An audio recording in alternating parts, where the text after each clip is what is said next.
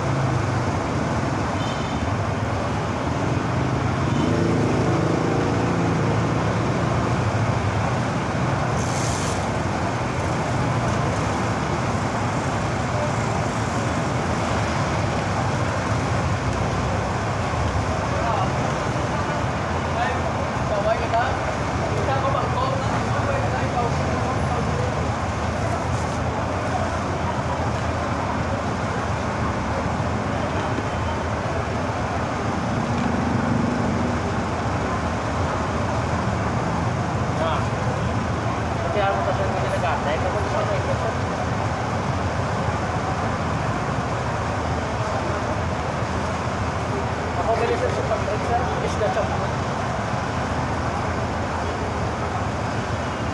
Wala ka din kasama ng dagpo kung kung saan yan, akan na dagpo, no, ano sila na sila na, ah, kipit na siya. Kung hindi ka na kipit ka na eh. Tuyaw. Terus nakagi, tumba motor mo.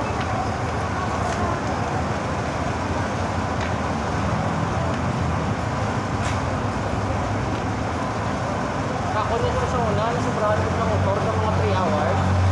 Pagkagabi, ang ako bilaglawan sila puro. Hindi ka ako ng motor. Pero balot na lang. Araw ko.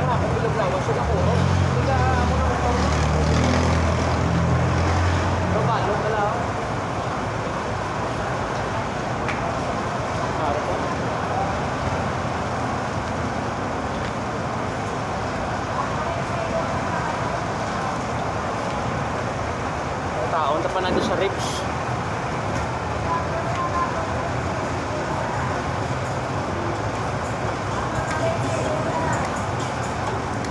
Dari away kahit na puruhan gid. Dari gitu.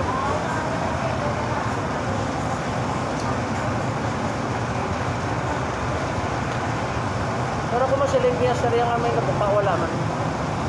Naipit lang agad. May kung magsiling kaya nga daw grabe, hindi ka makaptan eh. So, imo, sir, karon sa sa kabi, sir, stretching lang ta.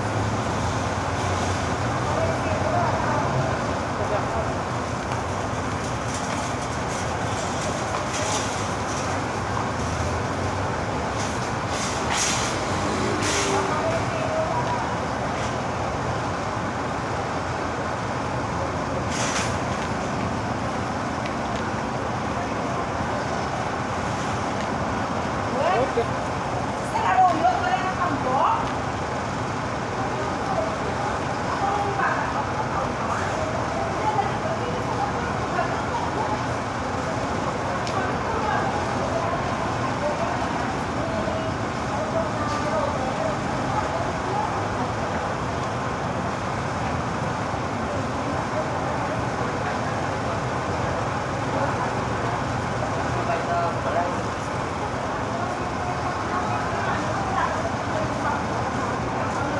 Laban na sir. So ang na sir dire sir oh. I-ice mo na dire. Kag dire yung kay may mga bagras so. Kaya kung hindi mo ni sir pag i-ice sir, kamatapusin na sir matubo na din yung gubat. Oo. Kaya may impact na di sir mo. Pero kung magsiling yung ugat, yung nga naipit, wala na, nalubad na oh. Ang lagop na lang, so sa gabi, ice mo na.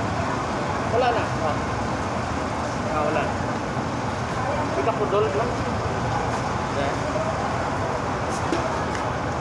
Ka-impact lang ni siya. Na-impact pala sa motor. Siya mo niya pala sa sakit. Pero wala naman. Wala na.